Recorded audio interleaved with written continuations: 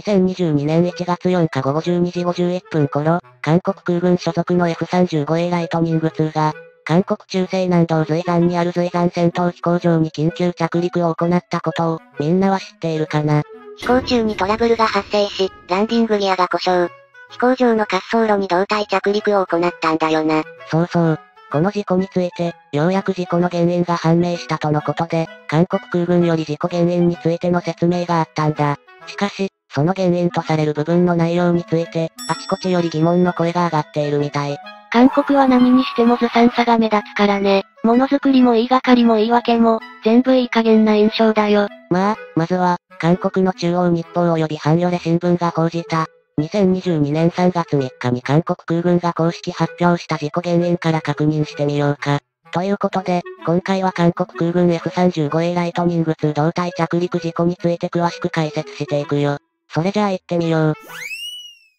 韓国空軍は、今回の胴体着陸事故に至った原因について、飛行中の F35A ライトニング2に鳥が衝突する、バードストライクと呼ばれる事象が原因であるとしたみたい。記事によると、事故機は、空対地ミサイルの射撃訓練を実施するために青州基地を離陸した後、時速 900km で射撃地点へと最終侵入を行う直前、高度 330m 付近で機体左側のエアインテーク空気取り入り口に、体重 10kg にもなる大型猛禽類のハゲワシが侵入し、エアインテークに飛び込んだハゲワシは、エアインテーク内部でウェポンベイ機内弾薬庫との隔壁を破壊して、ウェポンベイ内部にまで入り込み、ウェポンベイ内部に設置されていたランディングギア着陸装置の作動系油圧パイプや電源ケーブルなどを、破壊したために操縦系統の不調やランディングギアの動作不良を起こしたとしているよ。韓国空軍は、今回の事故で機体そのものの整備不良や欠陥、パイロットの操縦ミスについてはなかったとしており、バートストライクの危険性について空軍内で周知徹底を図ることで、F35A の飛行を再開するとの見解を発表したんだ。また、F35A の開発元であるロッキード・マーテン社に対しては、エアインテークに鳥類が侵入するバードストライク対策として、たとえバードストライクが発生した場合でもランディングギアが正常に作動するよう、ランディングギアの動作系統を二重にするなどの対策が行えないか、同社と協議する見通しであると記事では報じているんだって。これらの調査結果について、その内容の信憑性について疑問の声が、日本のネット上では多く上がっているようだな。うんうん。まず、最も指摘が多かった部分として、記事の中で、今回のバードストライクが発生した際、機体が受けた衝撃の強さについて、空軍関係者の発言として搭載する燃料を含めて20トンを超える機体が、空中で 10kg の鳥類と衝突して受ける衝撃度合いは、約30トン相当にも上るとの説明がなされたとしているんだけど、この説明がそもそも適切ではないとの声が多く上がったみたい。その声の中身としては、飛行中の航空機に鳥類が衝突した際の衝撃について説明するのであれば、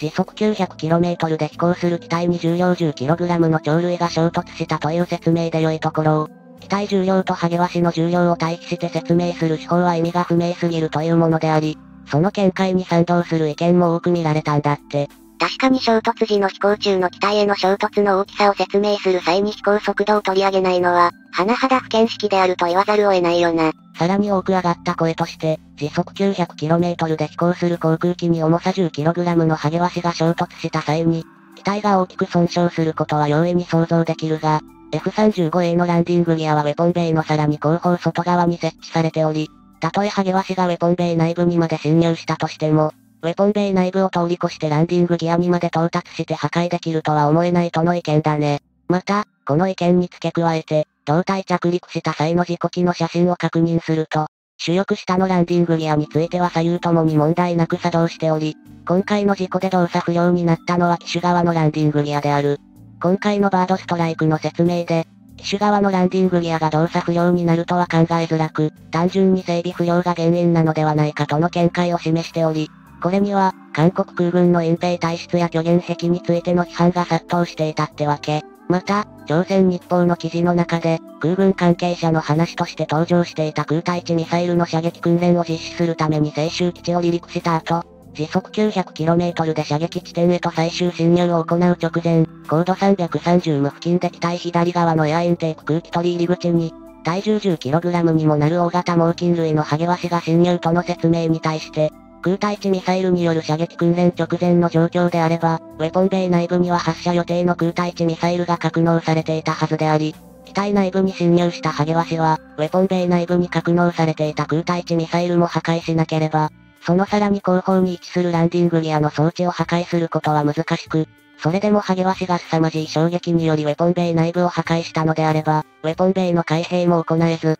主翼下のランディングギアも動作できなくなっているだろう。そうであれば、ミサイルの発射体制に入っていたであろう機体は、ウェポンベイを開け放った状態でバードストライクに遭遇したのであろうから、胴体着陸の際にウェポンベイは開け放たれた状態で、ミサイルを滑走路にすりつけかねないような体勢で胴体着陸を行わないといけない状況になっていただろう。そんな危険な着陸を強行するなどあり得ず、普通は海上に着水させ、パイロットは緊急脱出させる。と詳細に分析する人物も登場し、日本のネット上では、韓国空軍の公式見解は全く当てにならない、信憑性の著しく低いものであるとの意見が体制を占めるに至っているんだよね。確かに今回の事故で、事故直後に韓国の各マスメディアによる報道では、飛行訓練中の F35A が航空電子系のトラブルで膠着装置が故障、中南随山市にある第20戦闘飛行団の滑走路上に胴体着陸したと報じており、バードストライクが発生したことなどは一言も触れられていないぜ。むしろ、機体の内的要因によるトラブルが原因との見方がなされており、韓国空軍の整備不良やパイロットの操縦ミスを疑うような状況だな。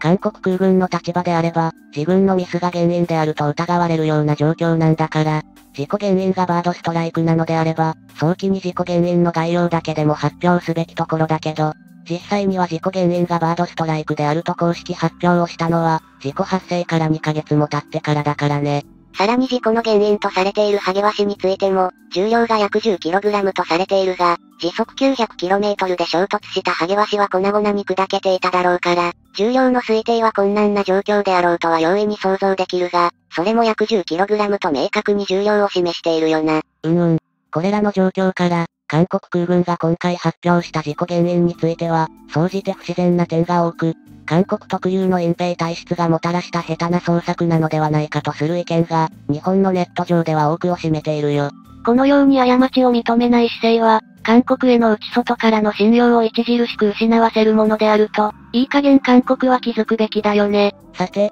今回、胴体着陸した韓国空軍の F35A だけど、韓国国内には F35A の重整備や修理を行う施設がないため、国外の施設で修理を行う必要があるよ。F35A は、世界各国で多数の機体が導入されている影響で、開発国である米国だけではなく、全世界に多数の製造拠点が設置されているんだ。製造拠点としては、米国テキサス州にあるロッキード・マーテン社フォートワース工場のほか、イタリアのカーメリと日本の愛知県名古屋市近郊に FACO ファイナルアセンブリーチェックアウトと呼ばれる、最終組み立て検査施設が設置してあるよ。そして、機密性の高いステルス性能ほか、各種性能の維持やブラックボックス部分の管理、メンテナンス、オーバーホールなどの作業を行う MRO&U メンテナンスリペアオーバーホールアップグレードと呼ばれる国際整備拠点が、米国本国の他にイタリア、日本、オーストラリアに設置されているんだ。これらの施設がない韓国は、F35A の日常的な軽度の整備が行えるのみであり、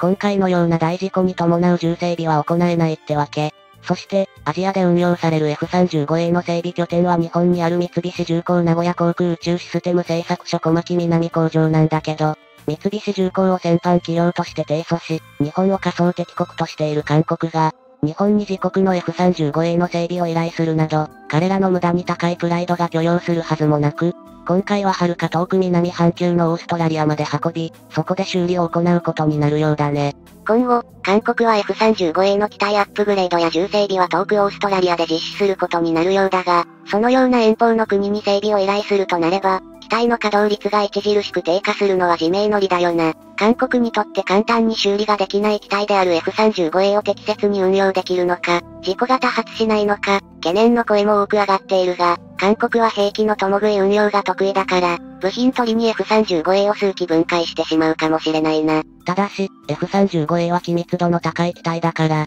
米国の許可なく勝手に分解してしまうと、下手をすれば F35A の運用そのものが韓国ではできなくなってしまうかもしれないよ。その時、韓国お得意のファピョンを発症しないか、軍師危うきに近寄らず、という言葉もあるからね。無駄な労力を使わないためにも日本は韓国に関わらないようにしておくべきだと思うな。それじゃあ今回はこの辺で。よかったら、チャンネル登録してね。